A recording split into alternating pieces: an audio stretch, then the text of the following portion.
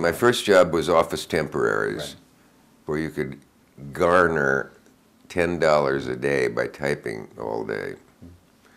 And one of the best courses I had in high school was typing. It saved me from total poverty. Wretched job typing all day, but better than not eating. Uh, but then I, um, yeah, the copy boy at time thing came along because f- actor friend said, you know, you ought to get this because it's not nine to five. You can be nine to five Monday, seven to eleven on Tuesday, three to five on Wednesday, and so actors could make rounds and adjust their schedules and stuff like that. Uh, so that was a perfect job for an alleged actor. I had a kind of uh, unrealistic experience too. I got I got the first job I ever tried for in acting. This doesn't happen. Right.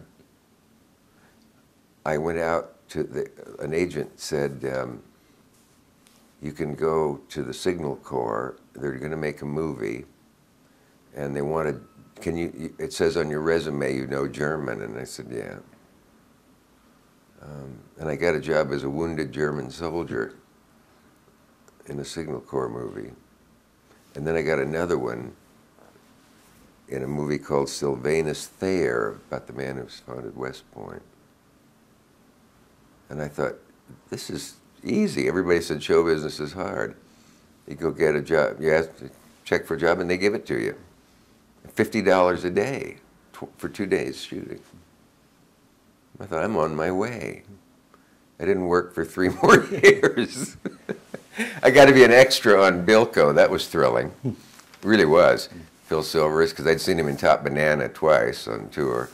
Uh, he was on tour. And um, I was an extra on the last Playhouse 90 ever, done live from New York with James Mason, Trevor Howard, and Richard Basehart, called The Hiding Place, written by Robert Shaw, the actor. Um, that's archival, isn't it?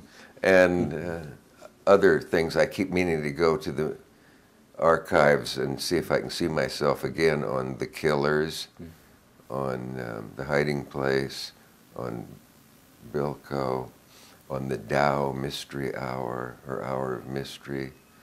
These are all things I was a prominent extra on.